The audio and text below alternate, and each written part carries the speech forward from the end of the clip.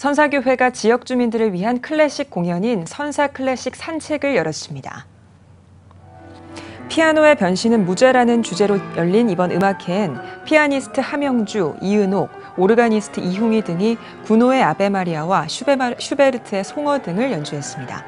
이번 공연에서는 4명의 피아니스트가 두 대의 피아노로 협주하는 등 색다른 연주를 선보였습니다. 클래식 음악은 어, 교회 음악에서부터 나온 그런 음악입니다.